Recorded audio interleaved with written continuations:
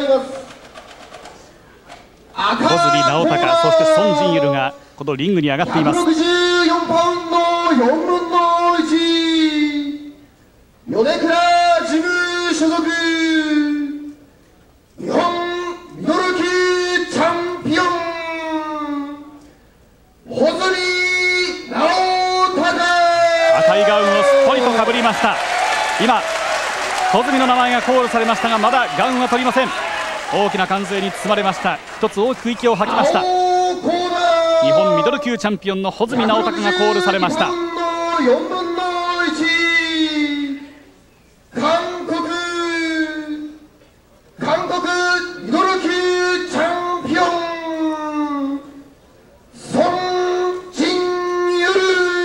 韓国・のミドル級のチャンピオン。そして OTBF では第2位にランクされております。ソン・ジンユルです。ジャッジ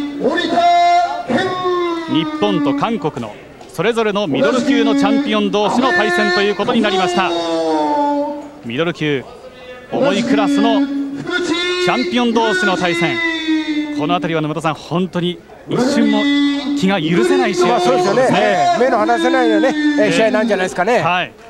レフェリーはウクリット・サラサスさんです。孫そして穂積今リングの中央に歩み出ました。お互いにグローブを合わせました。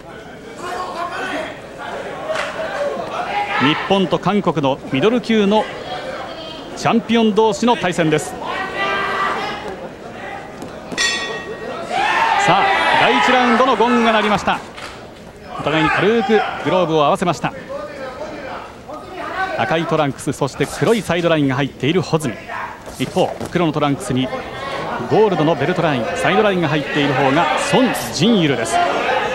穂積が24歳ソンが32歳です。穂積はここまで15戦を戦いました。13勝1敗1分け15勝のうち11の KO 勝ちです。一方のソン・ジンユルは11戦8勝2敗1分け。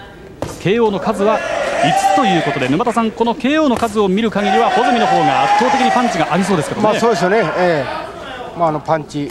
パワー的にはね、ええ。えー上だと思いますけどもね。はい。えーただその孫の方がですねええ。前に出てかなりその穂積にプレッシャーかけてますからね。そうですね、こちらがソン・ジンユル32歳あ左。そして左のアッパーを持ってきました。左を返します。あーこれもぐーんと伸びてきました穂積の左です大橋さん、はい。ソンがいきなりこう素早いパンチを見せましたが。そうですね、えやはりこのアマチュアのキャリアは相当ありますからね、えそういうそのアマチュアのキャリアを含めればベテランですから、はい。このゴングと同時にプレッシャーをかけて、ええ。この一気にねペースを取りに行きますね。はい、その辺のこう試合の駆け引き、まず相手の機戦を制するっていうところはちょっとなかなか手強そうな雰囲気も漂ってますね。そうですね、この孫孫選手、今ね、いいええペースを取ってますよね。また逆にこの穂積はね、ええ落ち着いて、このね、左ジャブをついてええ、もう少し足を使ったボクシングした方がいいですね。タラさん、はい、えー赤コーナー、穂積サイドなんですけれども、はい米倉会長にお話を伺ったところ、左を使えというふうに指示を出したということでした。はい。まあ特にこの左が中心ということは米倉会長も口を酸っぱくして言っているところですが果たしてそのあたりどう試合を組み立てていけるか今日は赤コーナー穂積サイドが小松アナウンサー一方の青コーナーソン・ジンユルサイドが国吉アナウンサーです左穂積ですまあ、穂積ね左フック非常にそのいいね角度で打ってますからね。はいやはりその左ですよね。えー左さたくさん使わないといけないですよね。やはり穂積はこのミドル級にしてはこの非常にスピードがありますんで、はいそのスピードをね主体に戦った方がいいですね。まだ今のところそのスピードを生かしたボクシングできてませんので、ええ。もう少しあワンツー。組み立てたいですね。はい、さあ右そして左。さらにボディ。右のボディを持っていきました穂積です。ボディ。このボディへの攻撃も相当練習を積んできたという穂積です。穂積は今年の4月3日に経験の大谷を下しまして日本のミドル級の王座につきました。あら左。ドーンという音が響きました、ややちょっとオープン気味でしたけどもね。ええ。潜り込むようにしてミドルアッパーを出していきます穂積です。第1ラウンドが残り10秒を切りました。このラウンドまず先制攻撃を見せたのは左の孫の方でした。しかし穂積もいいパンチを集めました。ここで第1ラウンドが終了です。穂積まずまずの勝ち上がりと言っていいでしょうか。第1ラウンド終了です。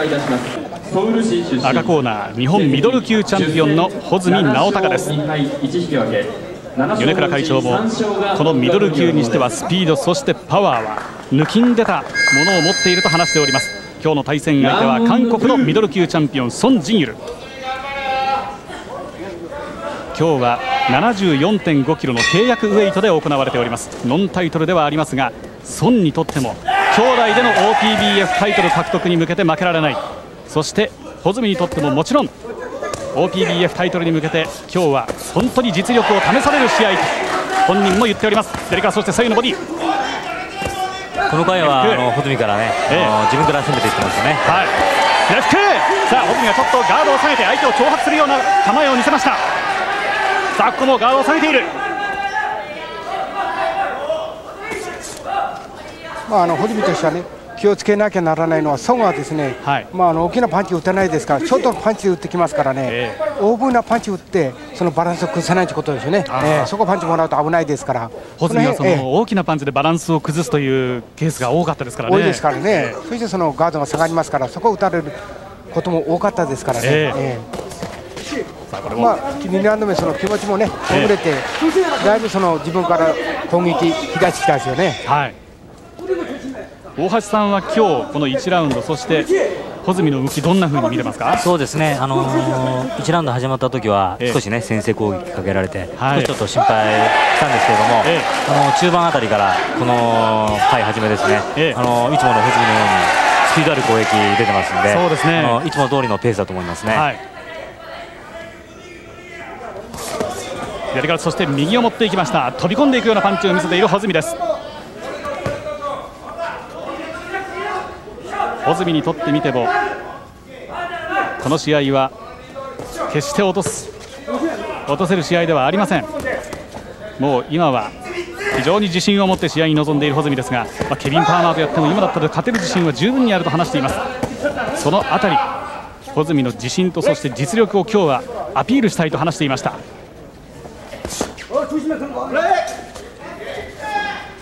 だ孫の方もそれほど一発パンチはやはりない。ね、はああそうですか。い、怖い選手ではないと思いますね。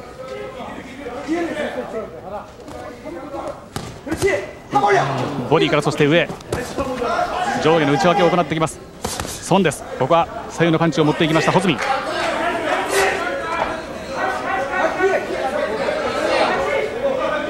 穂積の動きをよーく見ています。そして出てきたところに細かいパンチを合わせていきます。今みたいにちょっと大振りになりますと、ええ。やはり孫選手、このアマチュアで培ったテクニックがありますから、ああいうふうにカウンター打ってきますんでね。そうですね。えアマチュア時代には、ええ。フェイントを入れずでね、攻撃を仕掛けたいところですね。えフェイントを入れて。そうですね。ああ左です。ドーンと穂積の顔面を捉えました。この孫はアマチュア時代にはエジプトで行われた世界軍人大会で金メダルを取っていますああ左そしてその左が空振りになったところを左のフックを合わせていきました孫ジンユル。まあ、ソンもいい左フック打ちますね。ええ。打ちますとここで孫が飛び込んでいったところで第2ラウンドのゴンが鳴りました。第2ラウンド終了です。穂積直孝は今まで自分なりに納得しした試合はないと話しますが今日は来ているお客さんもそして自分自身も満足できる試合を見せたいと話していましたラウンド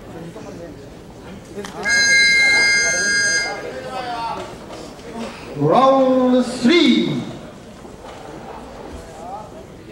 74.5キロの契約ウェイトで行われています。今日のメインイベント。日本ミドル級チャンピオンの穂積直孝と韓国のミドル級チャンピオンの孫仁勇との対戦です。あの孫選手の左ボディは非常にいい打ち方をしてますね。また音も響いてましたね今、やはり一発パンチがなくても、はい。この数ね打たれますと徐々にダメージ溜まってきますからね、不用意には打たせたくないところですね。まあ、あのソンの方がですね、左の使い方をしていますね。右アッパーのカウンターですね。ええ。ドーンと尻餅をつきました。穂積はダウンを取られました。うん、ちょっと足来てますて。ますね。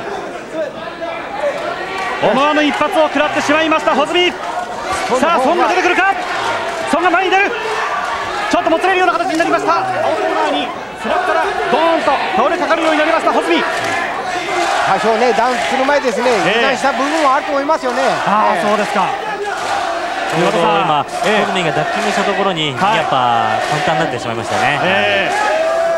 そのあたりですがどうですか？ダメージは表情を見て沼田さんどうですか？ありますね、ええ。足に来てますから。来てましたね。ちょっと膝が突っ張っちゃってますね、ええ。今ね、はい。これはこうクリンチして逃げた方が無難だと思いますね。さあここのピンチを穂積は切り抜けることができるのか？そんが果敢に攻め込んでくる。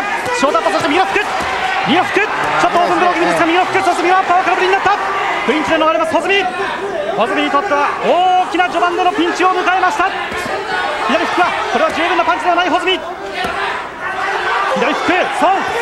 まあ、その方がです空振りね戦い方してますよね、はい。え左使っといて右右かまた左ですよね、えー、左フック右フックソンです。穂積のパンチには力がありません。右のアッパーそれもガードの上。ソンの左アッパーは空振りになりました。この第3ラウンドまもなく残り時間が1分になろうとしています。穂積がピンチを迎えました。ソン選手の方もねちょっと打ち疲れしてるようなところありますよね今ね、ねはい。ソンは32歳。さあソンがまた前に出てくる。穂積はそこを向かい打ちより右のアッパーしかし十分なパンチではありません。左フック返してきた。ソンです右のフックソンの左。左右フック穂積の右が当たった。いやいやソンはどうだそれとの打ち合いだったですね。激しい打ち合いになってきた。チャンスですね、ホズミここはね。ホズミがチャンス。さあここで固めて打ち止めるか。おっとお互いに激しいパンチの応酬になりました。ホズミの右ホズミ左。ホズミ左。いやいやそうも聞いたんですね、えーソンもはい。ダメージを受けている。残りが20秒。まもなく20秒ホズミもチャンスを迎えている。ホズミこのラウンドダウンを取られました。逆にここはホズミがチャンス。ダウンを奪い返すチャンスを迎えていますが残り15秒を切った。ソンもこの打たれたダメージとこのえ打ち疲れですね、このはい。ダブルで重なってますね、今のところそうですね、ちょっとここは苦しくなりました。が残り10秒を切りました。そんの左回り込んだところそんの左が待ち受けていました。そしてそんのボディ。第3ラウンド穂積が思わぬ一発を食らってダウンを喫しました第3ラウンドが終了しました。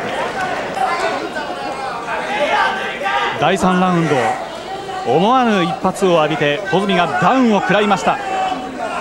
この右アッパーですね、ええーショートの右アッパーですね。ええ。ちょうど脱臼したところですからね、ホズミがはい。これは終盤の穂積のラッシュの模様ですがしかしそれにしてもあの一発がありますから沼田さん怖い相手ですですね。ね、まあ、それにしてもね、あの穂積、よく反撃してたんですよね、そうですね。本来でしたらダウンすると、はい。えー10対8なんですけども、はい。えーあのソンもかなりそのパンチ効いちゃって、ええ。ーダウン寸前までいったんですから、はい。えーまあ、私の採点では10対、えー9にしたわけですよね。なるほど、はい。まあ大橋さん、はい。確かにダウンを奪われて足にもかなり影響が出ていましたけれどもそこからの反撃穂積のそうですね。気迫を感じましたね。おっと。まあやはりそのね練習の賜物ですよね、え。はいあのーダメージからはね普通あそこまで反撃できないと思いますからね、ええ。さあこのラウンドもしかしこのソンがボディからさらに顔面を狙っていいパンチを立て続けに穂積に打ち込んでいます。まあ、穂積の方が苦戦していますけどね、はい。えーただそのほ穂積のその左フックですか、ええ。非常にそのいい打ち方しますから、はい。えー逆にダウンを与えるでしたらその左フックだと思いますけどね、穂積の。穂積にとっては左フック、ははいいまあ、確かにダウンを奪われましたがまだ試合は序盤ですからね。そうです、ええ。えー盛り返すチャンスがね、はい。ダウンも出てきてる、くると思いますから、やはりその冷静に戦ってもらいたいですよね。ええ。ソンの右にちょっと顔を背けました。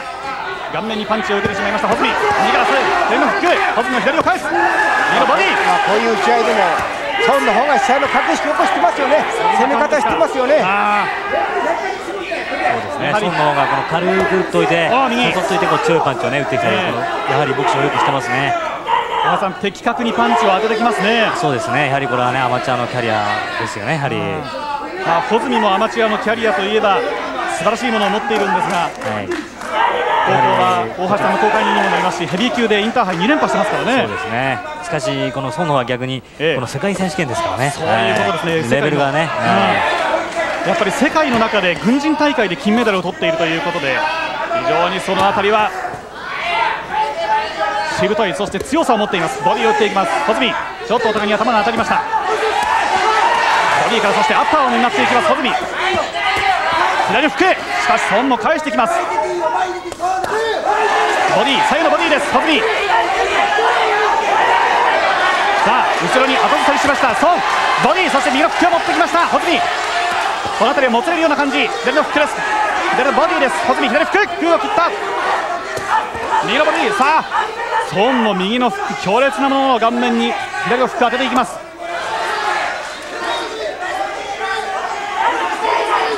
まもなく第4ラウンドの残り時間が10秒になろうとしています。村田さん見てる感じでは1ラウンド1ラウンドあっという間に過ぎてしまいますね。まあそうですね、え。ええまあ、あの孫もですね、ええ。いや最アッパーですね、穂積の、はい。そのボディ打たれるの嫌がってると思いますからね、はい。ええ。今もちょっとそんな表情を見せましたね。そうですよね、さあ第4ラウンド終了のゴングが鳴りました。第3ラウンドにはダウンを奪われましたがこの第4ラウンドは沼田さんまた穂積が盛り返すという場面がありましてますよね。したね。ええ。もう少しね、左やっぱ左フックですね、はい。ええ。もう少しその左を有効に使ってもらいたいですよね、そうね。すれば、えあのチャンスは生まれてくると思いますから、はい。孫もかなりちょっと疲れたんじゃないですかね。ええ。そうかもしれないですね。そのあたりは果たしてどうなのか。試合は中盤に差し掛かってきました。穂積は第5ラウンドあるいは第6ラウンドあたりまでにこの孫を倒したいということを話していました。そろそろその穂積のシナリオ通りに組んであればこのラウンドが勝負ということになりますやはりこの昔の穂積でしたら、はい。このずるずるとスタミナをなくして、ええ。あのずるずるしてしまうんですけども、やはりまあ練習してるせいか、はい。あのそのスタミナを失あのなくしてるっていう感じは受けられませんね。あーそうですね。えむしろ孫の方が少しどうでしょう。えそうですね。ええ。えもう穂積がこのスタミナ勝負してるっていう感じの展開になってますからね。孫ジンユルが32歳。穂積は24歳。いいボディーボールを見せました穂積ドーンという音が響きました。ええボディ打ちしたんですけども、ええ。一発は終わってますから、はい。もう少しそのしつこくね、ええ。ボディ打ってもらいたいですよね。ええ。先ほどのラウンド終了間際にはねボディを打たれる嫌な表情を見せましたからね、非常に頭がね両者当たってますよね。ねはい。さあこれはボディ左右のボディです、この打ち方ですね、えそれがその顔面に返すボクシングですよね。え。はい、そのボディからのコンビネーション。ね。この辺りが沼田さんとしては欲しいなというええところなんですね欲しいですねレフティわあ今度は3発持ってきました孫です。穂積の顔面一発に対して3発持ってきました。穂積の左をかぶりその右フックそして左。もうこういうね、ああの試合の流れになりますと、お互いに我慢のし比べですから、はい。ええどっちかがその根を開けると負けになっちゃいますから、ええ。こうなるとあとはもう根気の勝負根性の勝負ということですよね、ね。まあ、こういう打ち合いになったらやはりこの打ち合いの中にええ。ボディを入れてる方が勝ちますよね、はいあ今のところね、ホテルの方がうまく顔面、ボディとね、うまく打ち上げてると思いますね。あはい。これですね。ああ今ボディからが右のアッパーです。体勢を入れ替えるときに左のフックを見せました穂積さあ低い姿勢になって頭をつける形になりました。その孫に対してボディ2発穂積ああ右のボディです。そして左を持ってきました。穂積の左を空振り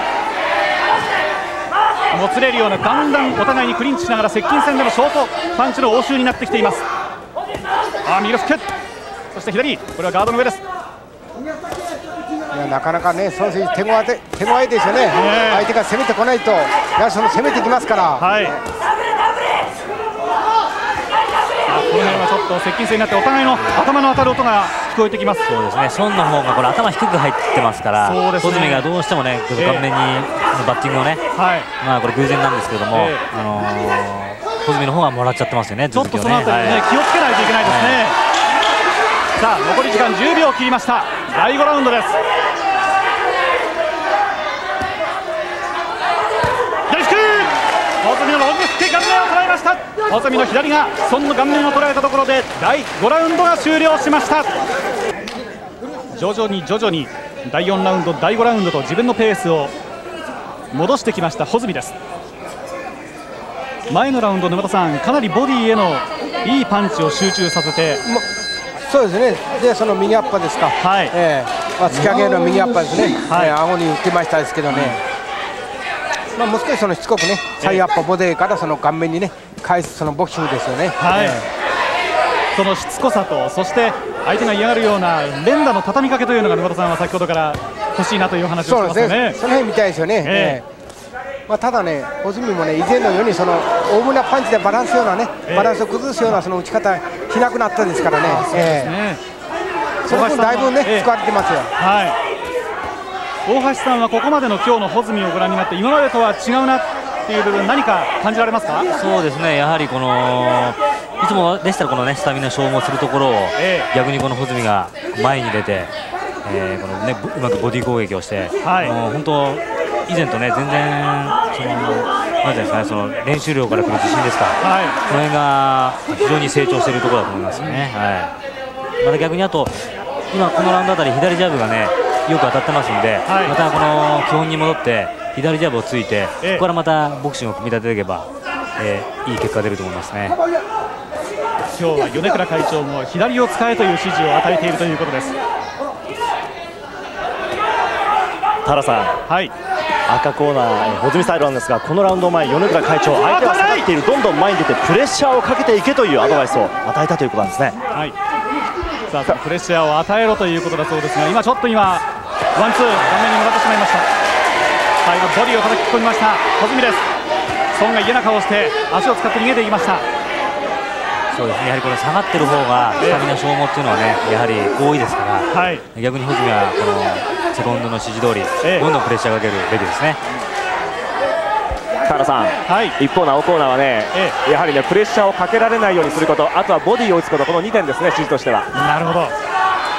まあ孫としてもやはりその穂積のペースに巻き込まれないようにプレッシャーをかけられないようにということですがどうも沼田さん後ろに下がってますね孫は。まあそうですね、ええ。まあ、ただそのこのラウンド穂積ですか、はい。まあ、こっち言ったらその決め手のパンチ出してないですからね、ええ。今日は赤コーナーが小松アナウンサーそして青コーナーが国吉アナウンサーがそれぞれセコンドの指示など情報を入れてくれています。試合は中盤に差し掛かっています。第6ラウンドです。小泉は第5ラウンドまでには倒したいと話しておりましたがすでにその第5ラウンドは経過しました。第6ラウンドに入っています。今のこの穂積の左ストレートですね、これをどんどん打ってプレッシャーかけたいですね、やはりいきなり大振りパンチを打つと、えちょっと的中率がね、えー低くなってるますのでね、えーいや今のアッパーを打った後もちょっと危なかったですね。そうですね、よしくこのパンチはちょっとね、うん。当たりませんからね、はい。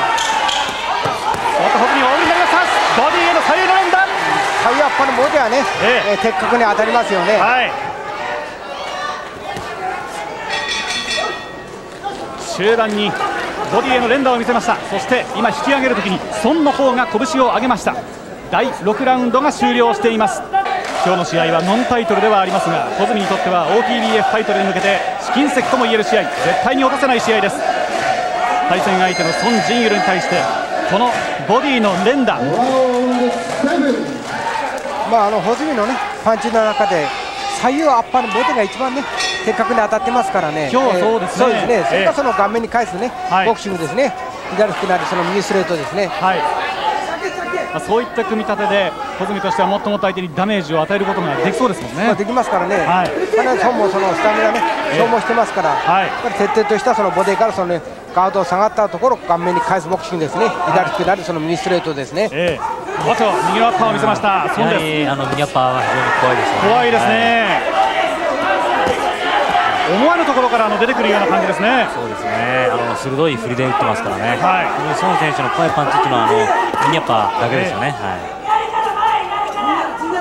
その孫ジンユルは32歳です。おっと左髪。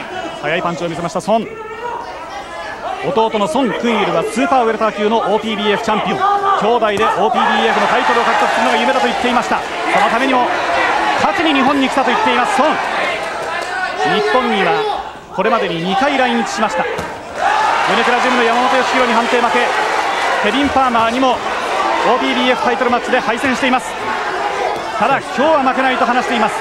ケビン・パーマーとの試合でもええ。非常に孫選手前線しましたからね。そうですよはね、まあ、5ラウンド終了した時点でケビン・パーマーの右の眉が右の眉あたりが深く切れましてこれで負傷判定。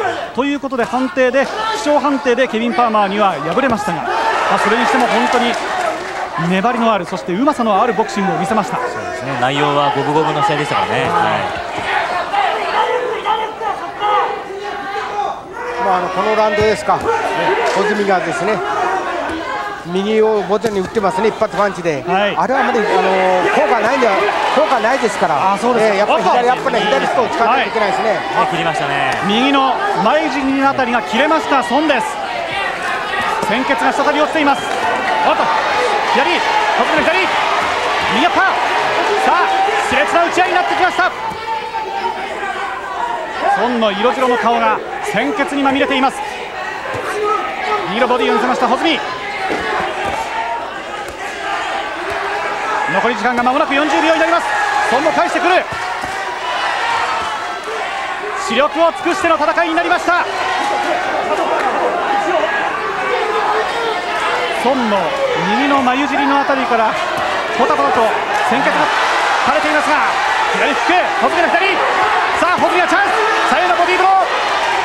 左はなんとか避けました。孫右ストレートよくだ左ストレートホズミやはり出血しますとどうしても集中力がね薄れますからね、はい、そしてまあちょっとパンチも見えづらくなってきますからね、ね、ボディーですホズミ左ですね。左フックが当たってきましたね、はい、ちょっと見えないんで見えないんじゃないでしょうかね。あなるほど。このラウンド。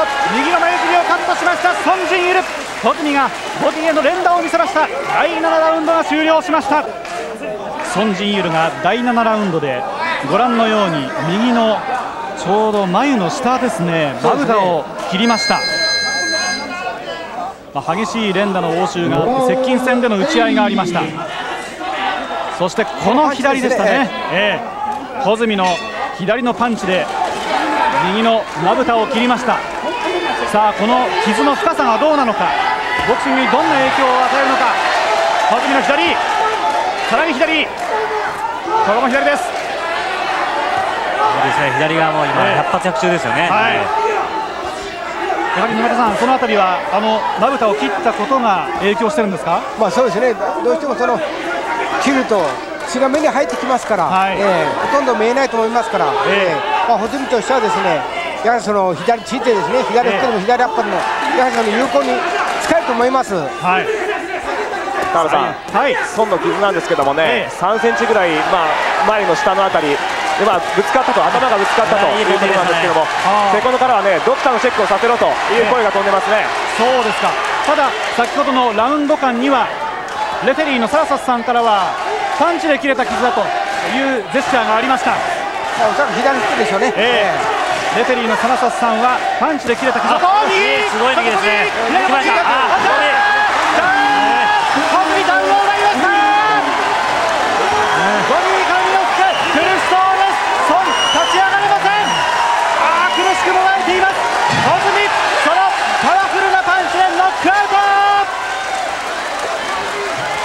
来ましたなパンチでソン・ジンユル。マットの上に沈めました。この右フックが効いたところに左のボディをねとどめさされましたね。これは非常に効いたと思いますよ。もう普通に顔を歪めるソン・ジンユル立ち上がることができません。ボズミがそのパワー一発の強さを見せつけました。いやそれにしましても沼田さん、はい、途中は非常に難しい試合展開のような部分が多少ありまして、ホズミもダウンを奪われてね、まあそうですよね。非常に苦しかったんですが。えー、まあ、あの右フック打ってですね、えー、返しのこの左アッパーですね、はい。えー、モロニキ入っちゃったですね、そうですね、はい、この右のフック、そして左のボディ、ボディですね、崩れ落ちました、ソン・ジンユル、OTBF 第2位のソン・ジンユル、穂積直孝は第3位ですが、その架空の選手を持ち前のパンチで沈めました。いやまだ孫は立ち上がれません。リングに沈んでいます。今穂積直孝が孫仁イのところに挨拶に行ったところです。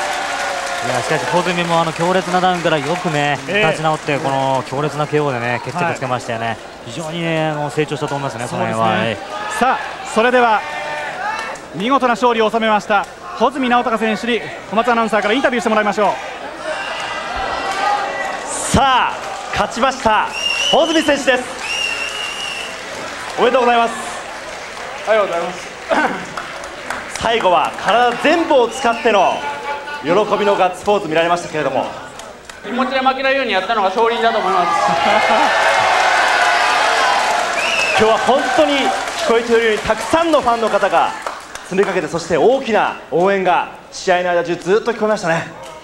いやでも多分みんな気持ちでやってたのが分かってたと思うんでだからみんな声が出てたと思うんですけどこれからも日本のために戦っていきたいと思います。よろしくお願いします。さあこの大歓声に包まれまして穂積選手のインタビューが続いていますが沼田さん、はい、もう穂積ならではの穂積節が聞かれましたね,、まあ、ね。はい。えー、まあ、それとその逆転でね勝ったということで、えー、よほど嬉しかったんでしょうね。そうでしょうね、えー、大橋さん今日の穂積の試合そのこの勝ち方ですがどんなふうにご覧になりました、はい、そうですね。やはりこのスタミナのない穂積がうまくね、この右からこの左ボディですね、えーやはりこういうパンチは練習しないと出ないと思うんで、はい、やはりこれはもう本当にね本人は練習しないと言ってますけども、うん、練習している証拠じゃないですかね。そうでしょうね、はい、その練習してるっていうのはなかなかね照れくさくて穂積の場合は言わないんでしょうけれども山田さん今日は一味違うこの穂積の強さっていうのを見せてくれましたね。まあそうですよね。えー、まああの今後もね大いに期待できるんじゃないですかね。穂積直孝選手でした。今日はノンタイトルではありますが見事穂積が勝利を収めました韓国のソン・ジンユルを下しました解説は元世界ジュニアライト級チャンピオンの沼田義明さんそして元世界ソロ級チャンピオンの大橋秀幸さんに解説をお願いしてまいりました。お二人ともどうも。ありがとうございました